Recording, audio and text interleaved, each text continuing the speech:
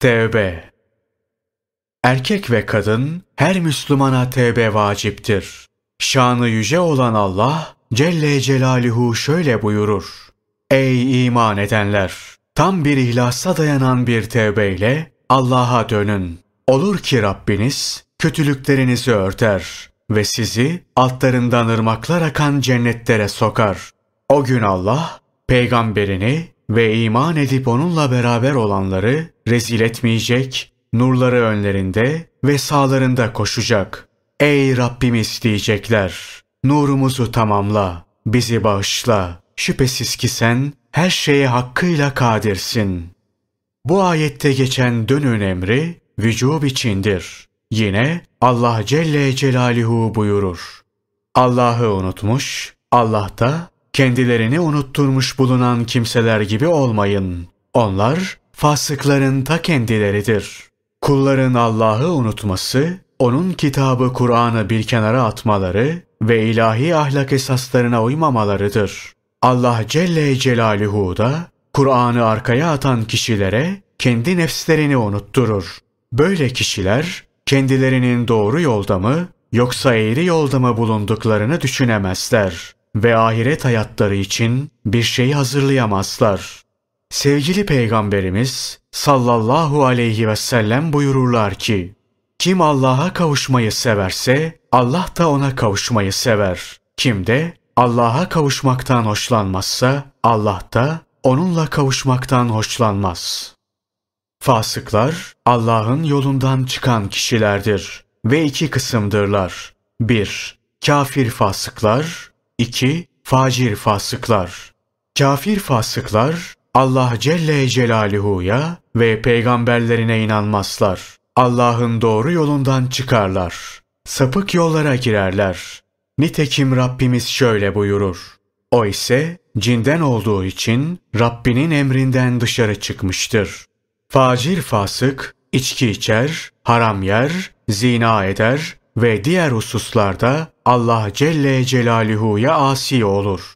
İbadet yolundan çıkar, masiyet yoluna girer. Ancak Allah Celle Celaluhu'ya eş ve ortak koşmaz. Kafir fasıkla facir fasık arasındaki fark şudur.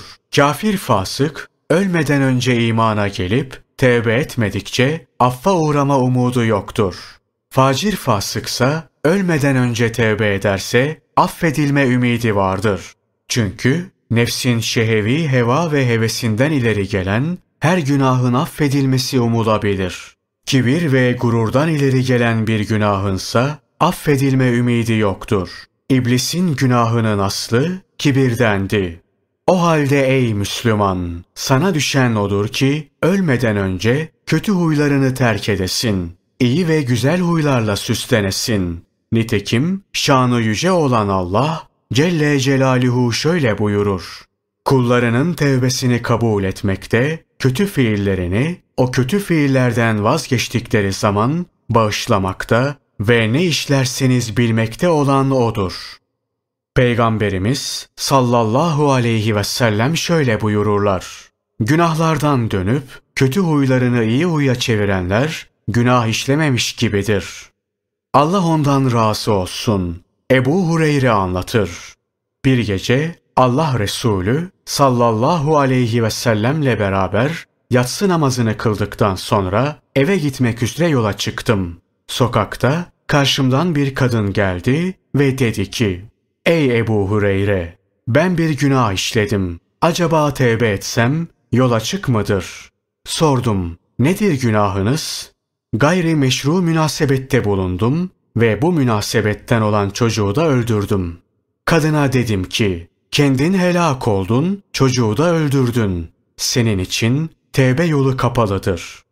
Bu sözlerim üzerine baygınlık geçirdi. Ben de yürüdüm. Fakat sonra kendi kendime ben fetva verdim. Halbuki Allah Resulü sallallahu aleyhi ve sellem biraz geride.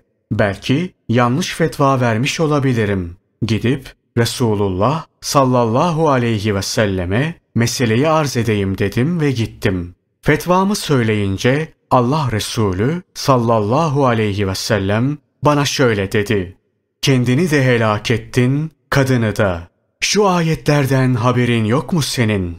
Onlar ki Allah'ın yanına başka bir ilah daha katıp tapmazlar. Allah'ın haram kıldığı cana haksız yere kıymazlar, zina etmezler. Kim bunlardan birini yaparsa cezaya çarpar.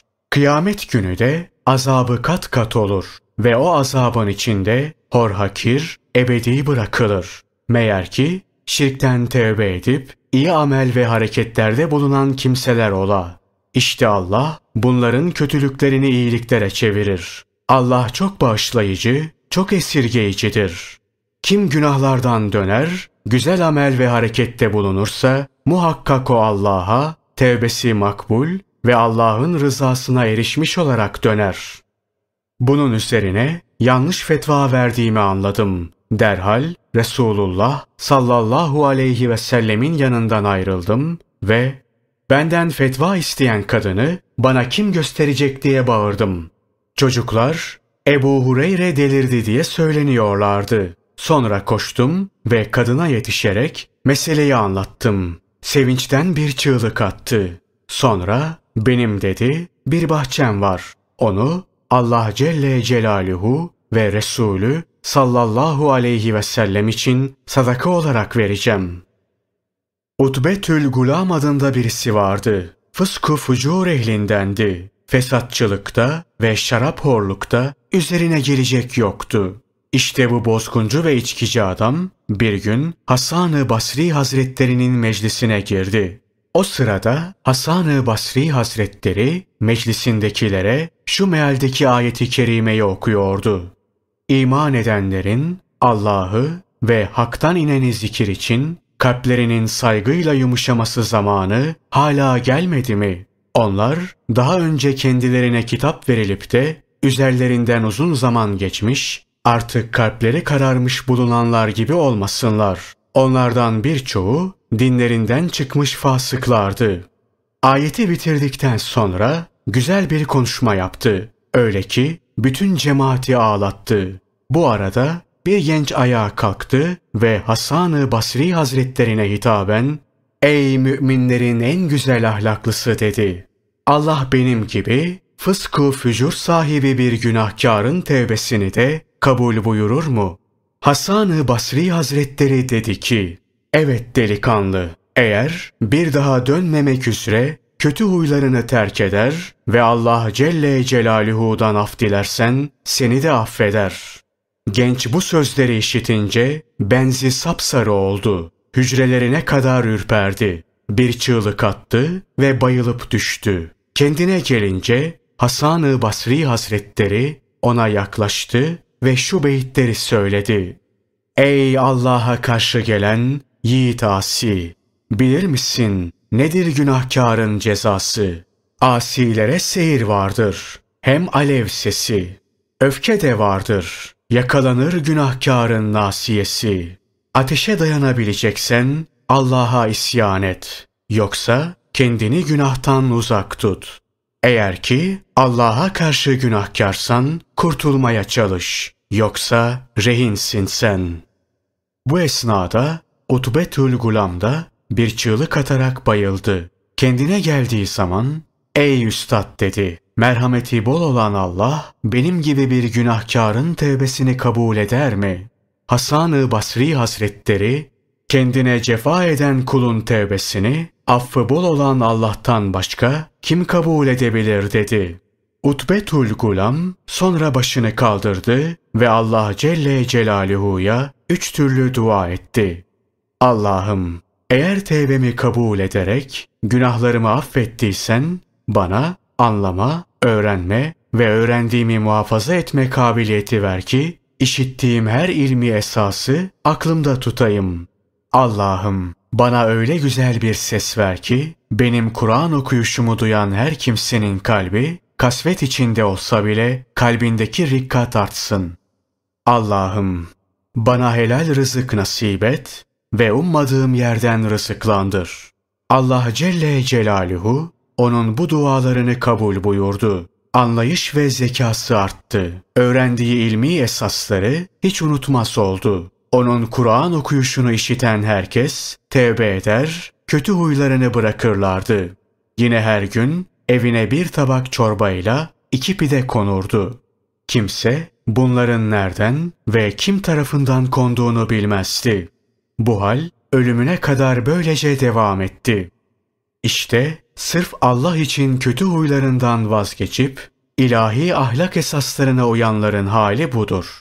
Çünkü Allah Celle Celaluhu kötü huyları terk edip iyi huylarla süslenen ve güzel ameller işleyenin mükafatını zayi etmez. Bir alime sorarlar. Bir kimse tevbe ettiği zaman tevbesinin kabul olup olmadığı bilinebilir mi? Alim şu cevabı verir. Hayır. Kabul veya reddedildiği hakkında kesin bir hüküm verilemez. Ancak kabul edildiğine dair bazı alametler vardır. 1. Kişi nefsinde günah işlemeye meyil bulunmadığını görür. 2. Kalbinden ferahın gittiğini görür. Her şeyde Allah Celle Celaluhu'yu hazır bulur. 3. Doğru ve güzel ahlaklı kişilerle düşüp kalkar. Kötü huylulardan uzak durur. 4. Tamah etmez. Az bile olsa meşru kazancıyla iktifa eder. Az bir helal kazanç onun gözünde çoktur. Fakat yaptığı hayrat ve güzel ameller çok bile olsa onun gözünde azdır. 5. Kalbi daima Allah Celle Celaluhu'nun farz kıldığı şeylerle meşguldür. 6. Dilini kötü kelamdan korur. 7. Sürekli tefekkür halindedir. 8. Geçmişte işlediği günahlardan dolayı nedamet içindedir.